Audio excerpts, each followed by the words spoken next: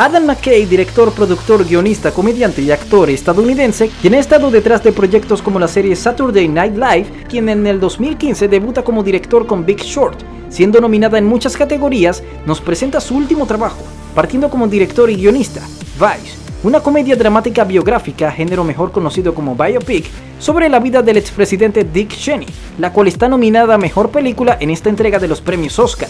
Echa con nosotros un vistazo y comprenderás por qué es una pasada. Vice explora la vida jamás revelada de Dick Cheney, un burócrata de Washington quien acabó convirtiéndose en el hombre más poderoso del mundo como vicepresidente de los Estados Unidos, bajo el mandato de George W. Bush hijo, con consecuencias en su país y en el resto del mundo que aún se dejan sentir hoy en día. Vice maneja una narrativa sublime que equilibra el humor irónico con todo el entorno tenso del cual está rodeado una persona en tal posición. A medida que vamos avanzando en la historia, se deja ver la evolución del personaje y su convicción, la cual al parecer nunca tuvo límites. En estos días es más difícil hacer comedia tal como la conocemos. Lo políticamente correcto y la presión de las minorías pasa factura. Vice maneja un ritmo perfecto, que coquetea entre risa y broma. Los momentos históricos entre el 11 de septiembre, la regulación de los impuestos post-muerte y la ofensiva por atacar a Al Qaeda, por mencionar algunas de las temáticas que implica toda esta historia, que no se podía llevar a cabo sin una puesta en escena rodeada por actores como Christian Bale, Amy Adams, Steve Carell y Sam Rockwell donde cada personaje resulta creíble desde su interpretación, la cual es sobresaliente. En conjunto, manejan una química perfecta que hace que te devores la historia completa sin parar.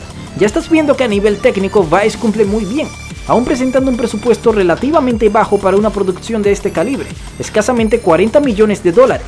Su fotografía abrazada con la ambientación que danzan a la par, una armonía perfecta que deja ver aún más en los planos abiertos, en temas de sonido, una calidad que rebasa lo sobresaliente, con una musicalización que aparece en momentos puntuales, escogida con principal atención por el detalle.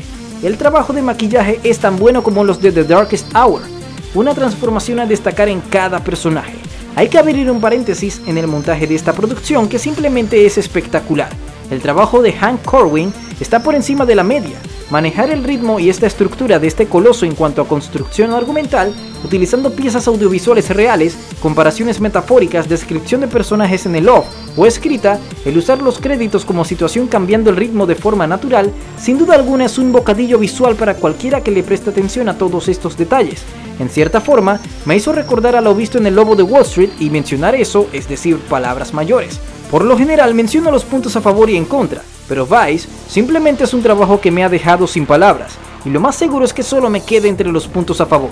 En conclusión, Vice nos presenta la cara de un personaje que bajo la sombra manejó los hilos de muchos hechos importantes bajo el manto del tío Sam. El conocer su trasfondo familiar, al igual que el poder de manipular los medios de comunicación para dar a conocer enemigos y cambiar la percepción no solo de la comunidad estadounidense, sino alrededor del mundo, es impresionante. Ver parte del entramado político que lleva envuelto el poder económico social mezclando el humor sutil en una producción de esta magnitud es de aplaudir. Cierro paréntesis y quédense pasados los créditos, tal cual como una película de Marvel. De verdad vale la pena. Si fuera por nosotros, ya vais tuviera más de una estatuilla. No cabe duda nuestra recomendación sin temor a arrepentirnos. Se despide de ustedes su amigo Dr. Zero. Nos vemos en la próxima cinta.